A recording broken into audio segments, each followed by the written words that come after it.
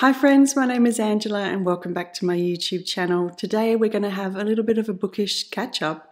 I'm going to share with you my current reads. I'm still going through a little bit of a reading slump and I don't know if it's really a slump or if it's just life, but we'll get into that a bit later. And I thought I'd share with you some authors, some contemporary popular authors that are super duper popular that I have never read for whatever reason. And I wanted to share these authors with you, and maybe you can help me push some of them to the top of my TBR. First of all, thanks so much for your feedback on my Halloween recommendation video. That was a lot of fun to put together, and I have been watching a lot of the movies that I recommended.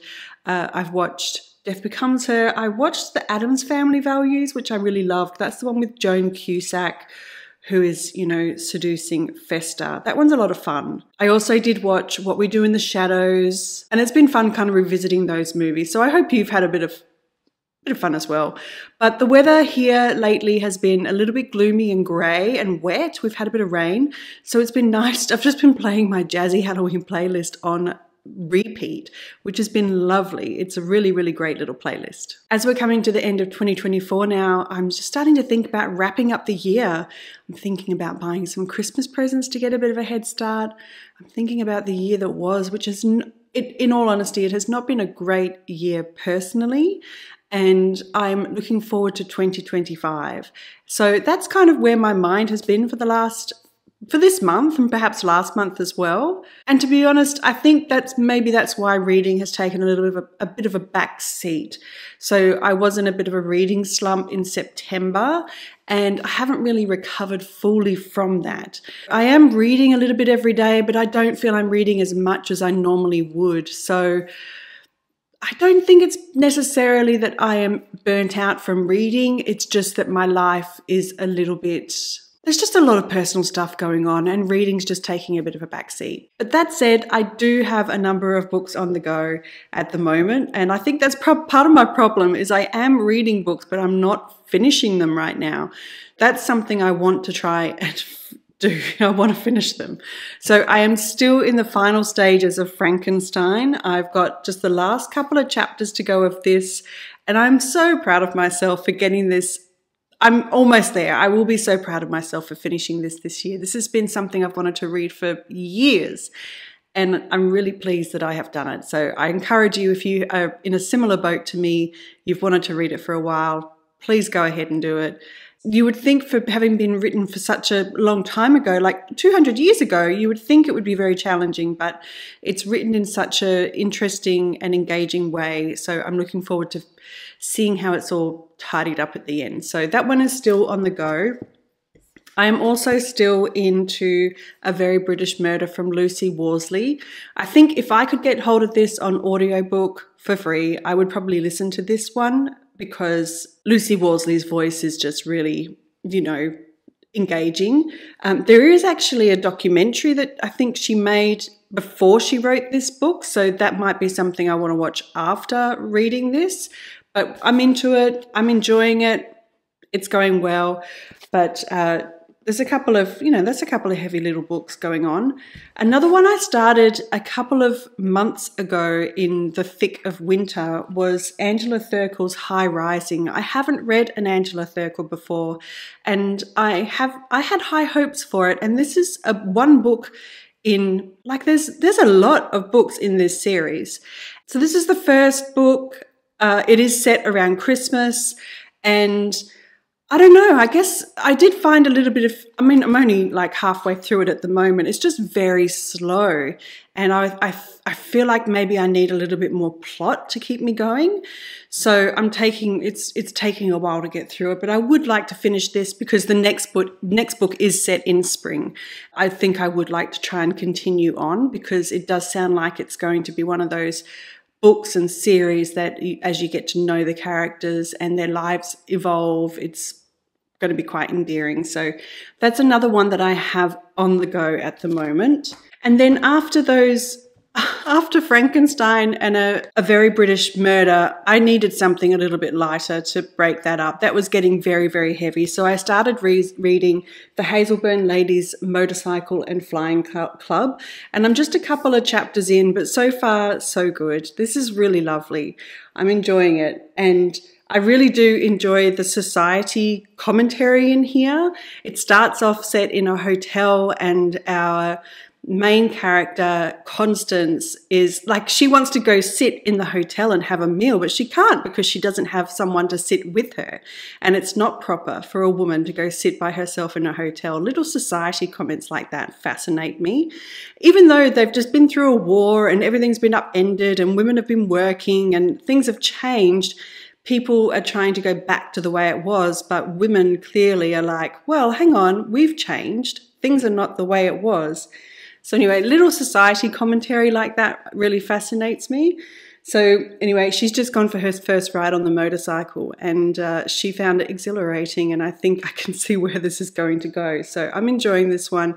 I needed it to break up Frankenstein and the uh, a perfect, a, a very British murder. This one's going well so far. And another little one I'm picking up here and there is a Countryman's Spring notebook from Adrian Bell. This is one that's been published by Slightly Foxed. So this is one of four books. They've just released the autumn notebook. So there's uh, one for summer, spring, winter, and autumn. And initially, when I came across these, I really wanted to get the winter one. That was the first time I came across it. And I was like, oh, I really, really want to get that one. But the winter one sold out and I couldn't get hold of it. So I thought, oh, well, and I'm not going to go buy the uh, other three to not have the fourth one to complete the set. So I thought, oh, I've missed out on that opportunity. But then they released the quartet as a set and I don't believe that they are the limited edition. I'm still not 100% on how the slightly foxed editions are different to the limited edition sets because they are very similar in how they're produced. But anyway, I managed to get hold of the entire set of the quartet. So I have the autumn notebook, the summer, the winter, and the spring, and they're a beautiful little selection. And the the Countryman's Notebooks are a, a, selection of writing of Adrian Bell that were originally produced as a column in a magazine, a newspaper or a magazine. So it says Bell was commissioned in 1950 by Suffolk and Norfolk's long-standing newspaper, the Eastern Daily Press, to write about his community for his community. These essays are collected for this commission, which led to a tremendous archive of over 1,500,000 words and represents the best of local journalism. It is very much about farmers and the local community and it's really quite beautiful. The spring one, the one I just read recently, I'm just reading a little passage here and there and there was this beautiful little passage um, about March, which is, of course, spring in the Northern Hemisphere. The prospect of March is usually, as Johnson said of a friend's second marriage, the triumph of hope over experience. I thought that was quite funny. So um, I've been enjoying the the spring one. I've just been picking it up here and there and enjoying a little bit of spring writing, country, British life. So those are the books that I've currently got on the go. And now I am I am tempted to pick up another book to try and get out of this reading funk, like maybe something like by, like uh, Atalanta by Jennifer Saint or I recently got Dusk from Robbie Arnott delivered. That's just come out this month. I'm tempted to pick up that to try and, you know, finish a book because sometimes just finishing a book can kind of pull you out of those slumps. But like I said, I don't think I'm in a slump because I don't want to read. I think it's something else. So maybe I should just stick with what I've got and we'll see where I go. So give me your advice. I'd love to hear from you on that. So let's get into this topic about some authors that I have never read. And I'm going to try and stick with more modern, contemporary, popular authors. I think what kicked this topic off for me was the release of Sally Rooney's latest book, Intermezzo, because I have not read a Sally Rooney book before. And the more I think about it, the more I look into who Sally Rooney is, what she writes about, where she's from. I think it's a big mistake on my part because I love Irish authors. I have a big soft spot for Irish authors. Uh, Claire Keegan's one of my favourite authors there's a, a lot of British, Welsh. I, I don't know. I don't know why I haven't done it. I think the reason I haven't is I kind of thought maybe Sally Rooney was focused more towards a young adult audience and that maybe it wouldn't be for me. So I have never read a Sally Rooney book before. When I started this journey of booktube, I thought I was more of a historical fiction person. But the more I've read, the more I've realized that maybe I am more it's a it's a combination of contemporary and historical literary fiction that is really up that's really what suits me and so I feel like Sally Rooney would probably be right up my alley. So I need your opinion. What book should I read first of Sally Rooney's? And should I read it right away? Another popular author I have never read before is Sarah J. Maas. I'm not into romantasy, fantasy books. And the ACOTAR books are everywhere, of course, but I've never read her books before. And I think when I look at them and I see the size of them and the investment of a series that is, I, I think the ACOTAR series must be six books deep. It's that's an investment. If you're going to start one book, you, you kind of want to be in it for the long haul. So I think that might be why I've never really picked it up. I mean, I have really enjoyed a lot of other young adult fantasy, I guess, in a sense. Like I have, I did enjoy reading Twilight when it came out. I did enjoy reading The Hunger Games. So maybe I would enjoy it to a certain, I know that it's a very different uh, topic, but maybe, I don't know, like, I don't know. It's a big investment. It's a big investment of my time and my money and my brain power. So I'm not sure about Sarah J. Maas and whether I should just not even do it. Or is there another book of hers that I should read that is not part of the ACOTAR series and maybe there's a standalone book that I could read? If there's one that you know of, please let me know so I could maybe read something of hers to understand what her writing is like. Perhaps one of the most embarrassing admissions is that I have never read a book by Toni Morrison. It has been something that I have wanted to rectify for a long, long, long time.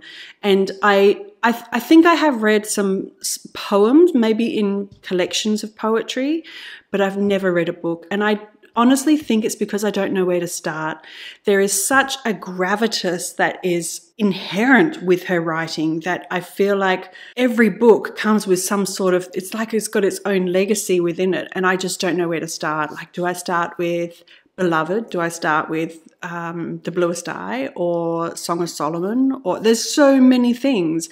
So I have never read a Toni Morrison because I think I'm just paralyzed in not knowing where to start. And it's a horrible, horrible admission. I hate to admit it, but I've never read it. Another author I have never read before is I've not read anything by Donna Tartt. And when I was looking into the books that she has written, of course I knew about The Secret History and The Goldfinch, but I was very surprised to see that The Secret History was written in or published in the early 90s. I thought it was much more recent than that. Again, maybe it's because these are books that are quite big, they seem to be an investment in time, and maybe I feel like I'm not maybe I'm not smart enough for these books that are real, you know, literary greats. Like these are modern classics. These are the modern classics.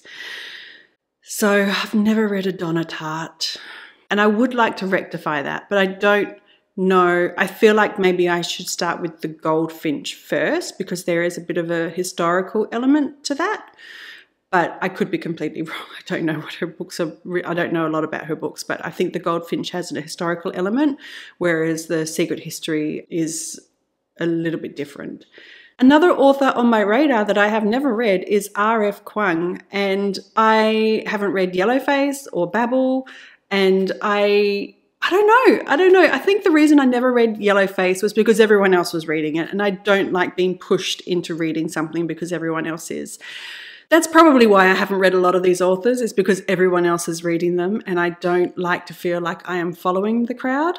So I haven't read any of her books, but they do sound very interesting. They sound very witty and intelligent and like she crosses genres. So maybe I should pick up one of hers as well. I don't know about the fantasy ones, but maybe Yellowface. Enough time has passed from when that went bonkers on BookTok. Another popular author that I have never read that I really, I think this might be one of the ones at the very top of my TBR, is Colson Whitehead.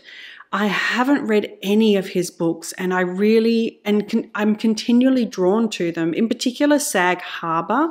Something about that book really has drawn me to it.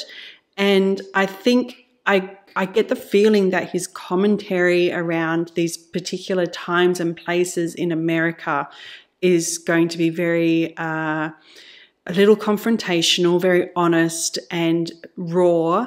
Like I said with the Hazelbourne Ladies Motorcycle and Flying Club, I do like those books that have commentary about the society norms and expectations. And I think that that's what he might have a little bit of that in there.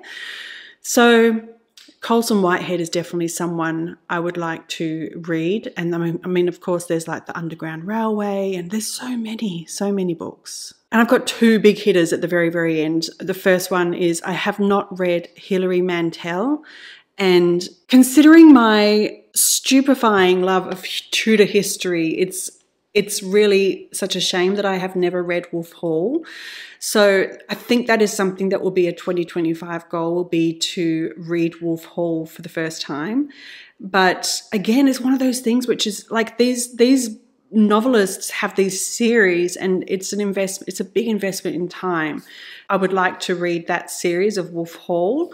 I've just heard nothing but good things about it. There has been I have read some conflicting things where the the way it's written can be a little confusing, that the uh, perspective can be a little bit confusing. But I think some people have suggested that starting off with a little bit of an audiobook can help with that.